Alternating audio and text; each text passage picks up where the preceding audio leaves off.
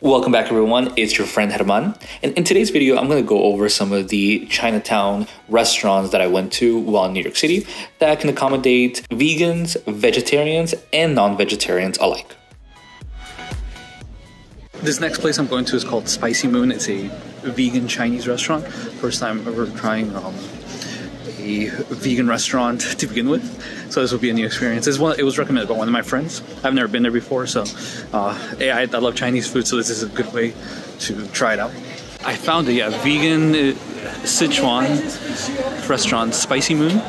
After walking in, you can tell it's a very popular spot because even though it was pretty late at nighttime when I went, it was pretty packed they in particular they specialize a lot in noodles and in particular I got the dandan mian or dandan noodles. And in this case they would normally have beef but they replaced it with vegetables.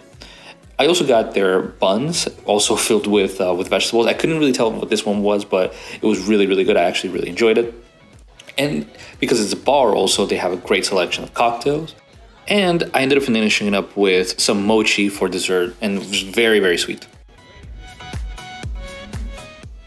Now for my upcoming option, which is called Shalom Japan, is one that I already mentioned in my, one of my previous videos, but I wanted to mention as an honorary mention because they do have some really good vegetarian options even though it's not a vegetarian restaurant, this means that you can go with any of your friends that eat a little bit of everything and everybody can enjoy something they like. I also really like the atmosphere of the restaurant itself. It's small, so make sure you make reservations if you go with more than two people. But I really enjoyed the spicy vegetarian ramen. And as always, I finished it off with a creme brulee cheesecake.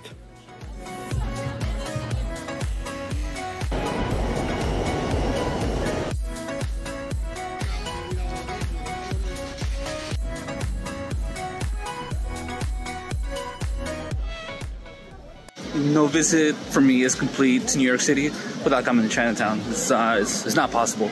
It's something that I have to do every time.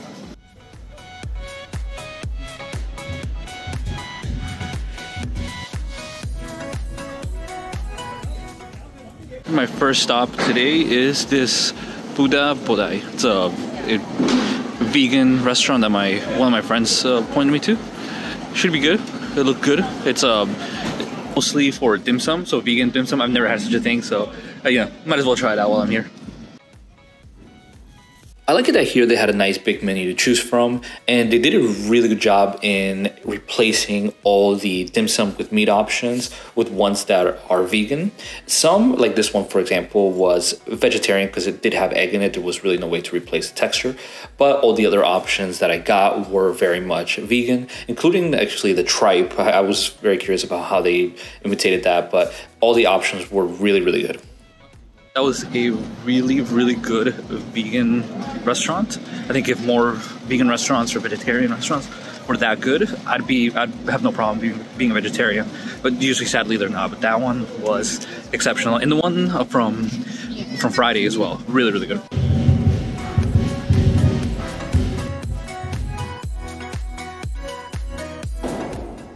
And for my last restaurant on this video, I hopped on the subway and headed over to Flushing, Queens to go to the Chinatown there, which is really the big Chinatown in New York City.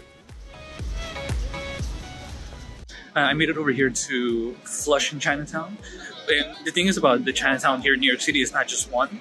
And it, there's the Chinatown in Manhattan, which is several blocks, and it's not just one area. It's actually multiple blocks, and they're not they're, they're very spread out. There's also one in Brooklyn, but the main Chinatown in New York City is actually out here in Flushing, in Queens, and it's huge. It's huge. It's probably the closest thing to going to China uh, while still being in the U.S. because really everything is a lot of places are in Chinese. A lot of the um, a lot of the business sites and everything, it's it's all in Mandarin. You, you will not see anything in English, and so that, that's why it, it feels so much like if you're in Asia right here in Flushing.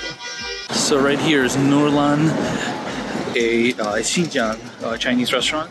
So the food is gonna be quite different than a lot of other Chinese food because it's from the Western region.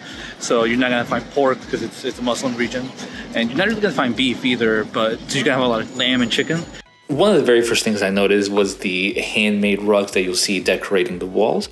And when going through the menu, you'll see that the menu is very akin to what you'll see in dishes found in Central Asia rather than Eastern China. So I went with these delicious spicy chicken skewers and also the this soup made with lamb ravioli. It wasn't ravioli, but that's what they called it on the menu. Man, it is freezing today. I had to put my, my hat back on, and so my voice might be a little hard of hearing just because it's it's it's so cold in my face. It's, it's freezing, but this Chinatown was, was awesome. It the, the food I've never had a Xinjiang food before. That was definitely my first time, and it was delicious.